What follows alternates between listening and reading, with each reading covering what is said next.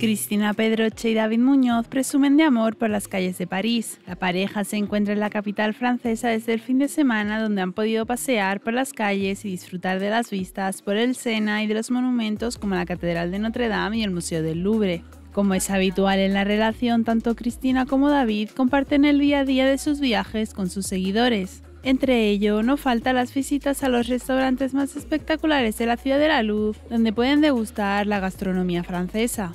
Una escapada romántica con el que ambos demuestran que forman la pareja perfecta.